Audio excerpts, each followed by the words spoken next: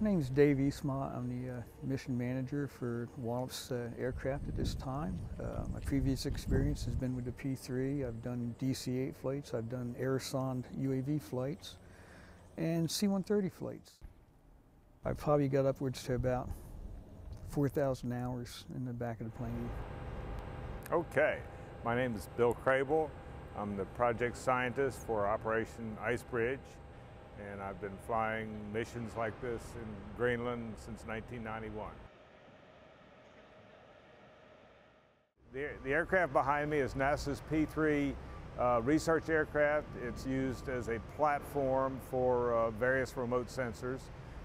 And we're going to be using it in Greenland this year, uh, as we have most years since 1991, to collect a, a, suite of measurements that tell the scientists the, um, the thickness of the ice, and how fast it's flowing um, out to the ocean. And what we're observing is the, the decade of the 90s was, was exhibiting very small changes. Uh, if we saw a half a meter to a meter per year of thinning, that was a pretty large number uh, in that time frame. But since the turn of the century, we're seeing some of those same glaciers now thinning at 15 and 20 and 25 meters per year. So there are some very drastic changes taking place up in Greenland. The additional work that we'll be doing for Operation Icebridge will be to follow the exact same orbit paths on the surface that, that ICESat has followed in the past and, and will follow in the future, and that ICESat-2 would follow when it gets launched in 2015 it does a, a, very nice job of, of uh, global coverage, particularly of Antarctica, that's quite remote and very difficult to get to with an airplane. So whereas the, the typical flights that we would make in the past are, are focused, targeted towards the outlet glaciers, um, we'll now also do the same kinds of measurements that a satellite would, and this sort of ties the two projects together.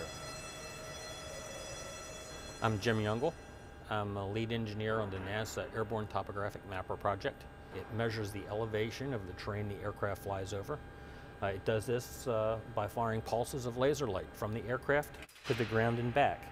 Those pulses are scanned in a, uh, an oval scan, and uh, this allows us to map a swath of terrain underneath the aircraft, and it allows us to return in a future year and repeat those measurements uh, pretty accurately.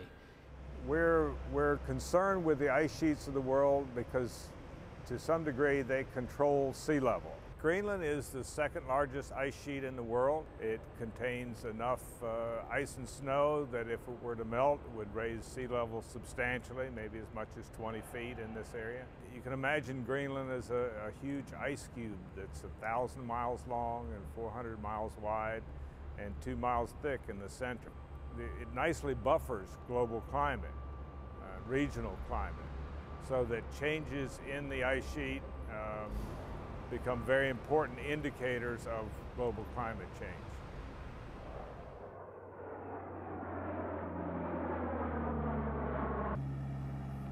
It's something you have to experience. We'll fly these patterns at uh, 1,500 feet above the ground level and you get up on the ice sheet, it's like flying over the clouds. When you look down, it's just white, fluffy sometimes. It just looks like a cloud, and you have to keep in your head that that's solid underneath you. Probably one of the neatest things to see is when you're flying down the glacier towards the ocean, you're at 1,500 feet, and just as you hit the ocean, the glacier drops off about another 1,000 feet. It's just, no matter how many times you do it, oh, it always takes your breath.